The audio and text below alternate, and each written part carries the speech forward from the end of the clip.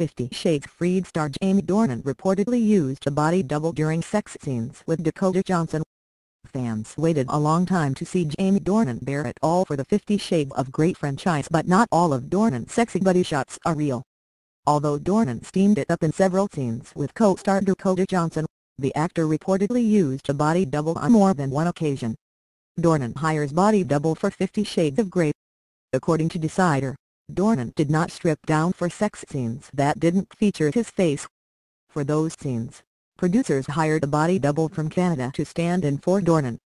Johnson did the same whenever her face wasn't included in the shot. She also used a body double for a butt shot to hide a tattoo on her rear end that producers didn't want to include in the film. This news is certainly disappointing to fans around the world, but rest assured, the body double situation changed in the second film. Did Dornan and Johnson use body doubles in all three movies?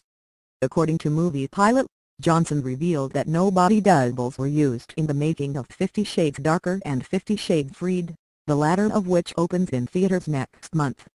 Johnson explained how performing sex in front of the cameras is a daunting task because it is tedious work. She decided to ditch the body double, however, because she wanted the movie to be as authentic as possible.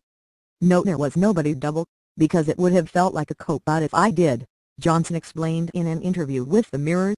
If I was going to do this job, I was going to do it 100% and give it everything. On occasions I'd been simulating sex for seven hours straight so I'm over it. Dornan gets in shape for his role. With no more body doubles to stand in, USA Today reports that Dornan made sure he was on top of his game before filming.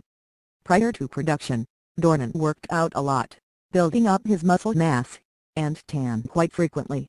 He also enjoyed months without shaving because he feels naked whenever he is to be clean-shaven.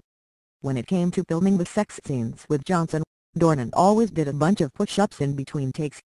Given how long it took to film the erotic scenes, it's a wonder Dornan made it through them without feeling exhausted. New trailer reveals Anna is pregnant. With January finally here, we are officially a month away from watching Dornan and Johnson reunite on the big screens one final time. According to E! Online, producers just released a surprise trailer for Fifty Shades Freed that shows Anna Johnson finding out that she's pregnant.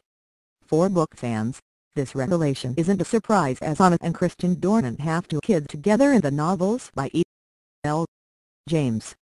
It is not known, however, whether the pregnancy in the trailer is referring to Anna's first or second pregnancy.